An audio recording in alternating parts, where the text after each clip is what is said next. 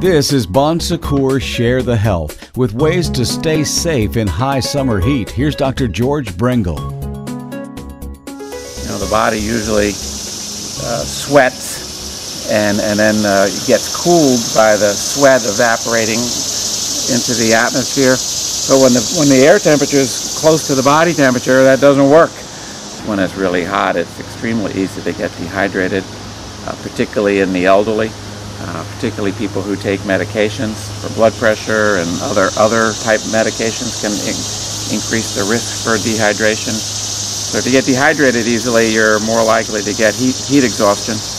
Um, the elderly are very prone to it. You see it in you know young high school football players and athletes.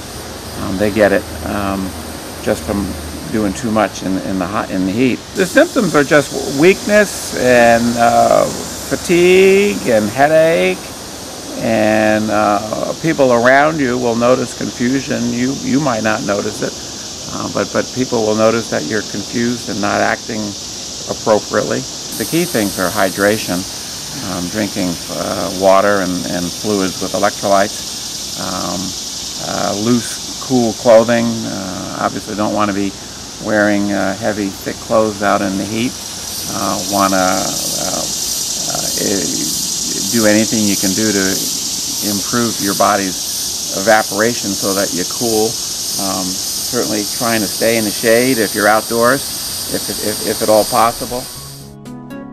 Good help is only a phone call away, and most Bon Secours practices offer same day appointments. Call us at 359 WELL.